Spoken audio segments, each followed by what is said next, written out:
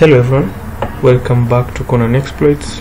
Before I go any further, if you liked the last video, make sure you hit that subscribe button, share the video, comment on what you did like, what you liked, and yeah, I'll tune my content to try and improve how you view it and how you better understand what I'm trying to deliver.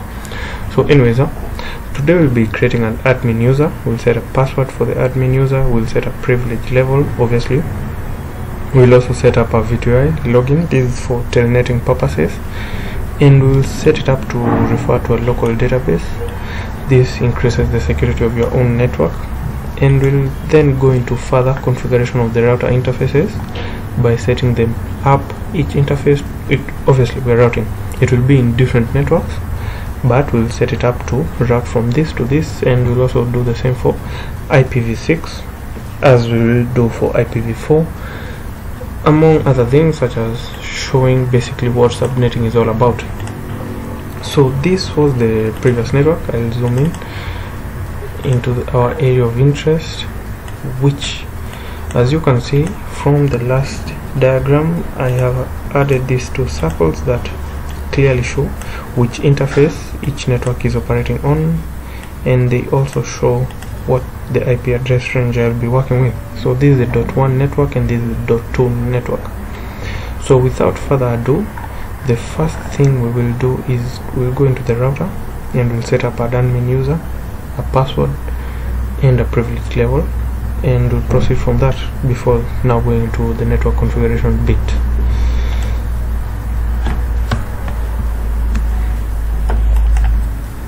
So if you remember from the last video we had set up a password which was uh, yeah, yeah I have to look that shit up now. Rapcon compass so let's go here. Rapcon pass. And now once we ring we want to go into a configuration terminal and we want to set up a user. So we'll go into username admin password. We'll set up admin pass password too short. Why is the password too short? Can anyone remember? Five minutes 10 seconds. Anyways uh, set a condition must be at least 10 characters long. So back to that now. Admin pass. What let's just use admin password? That should go. And now coming back here. We've created the username and we set up a password but we haven't declared a privilege. So what do we do? Privilege? Privileges go between 0 to 15 with 15 being the highest privilege level.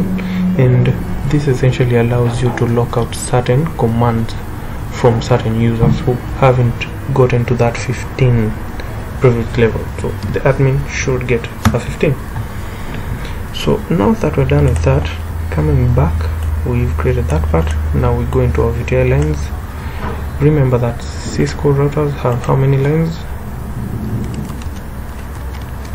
16 that's right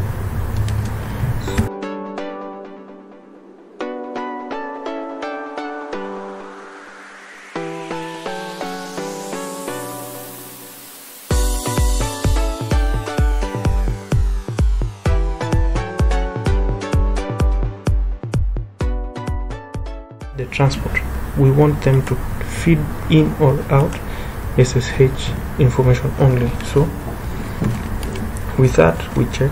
We want first of all the input and with input we want SSH we do the same for the output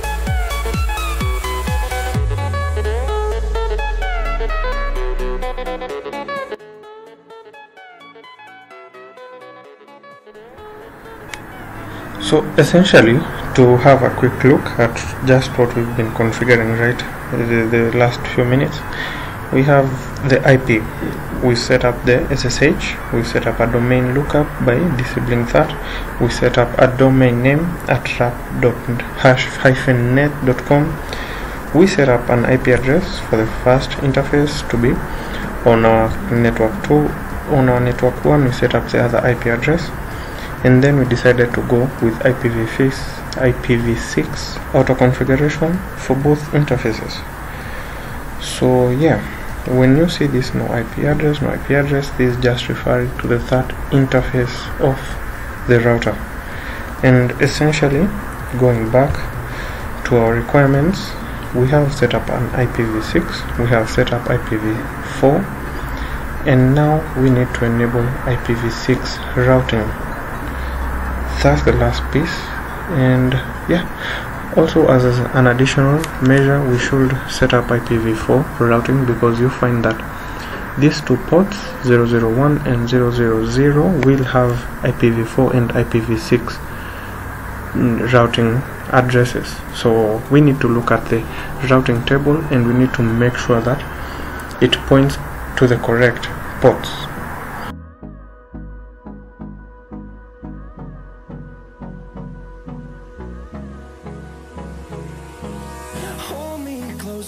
I get up. Time is barely on our side. I don't wanna waste what's left. The storms we chase are leading us, and love is all we'll ever trust. Yeah, no, I don't wanna waste what's left.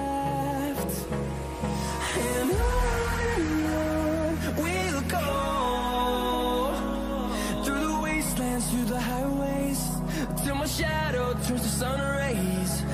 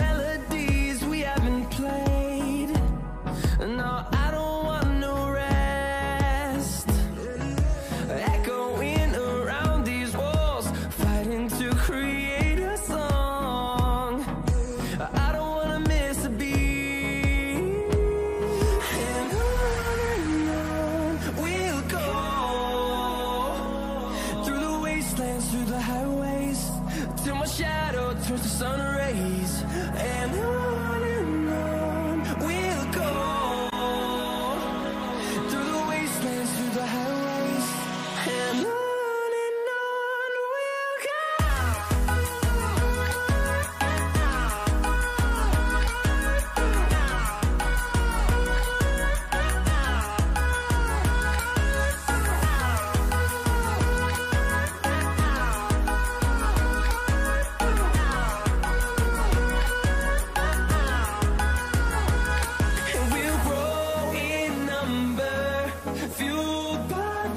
see the horizon, turn us to thousands.